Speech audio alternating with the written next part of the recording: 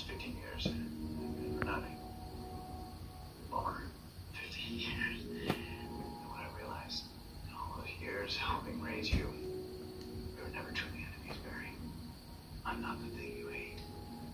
And so, I'm going to give you the thing that you want most. It won't matter.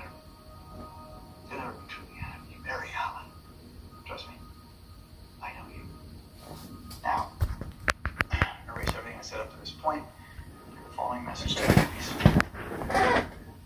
My name is Harrison Wells.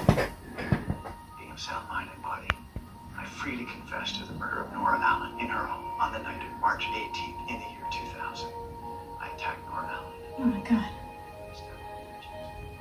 He confessed. This,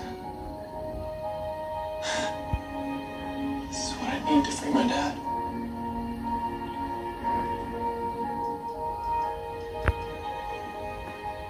Hey Joe. Yeah. Hey. Um. Can you have everybody meet me at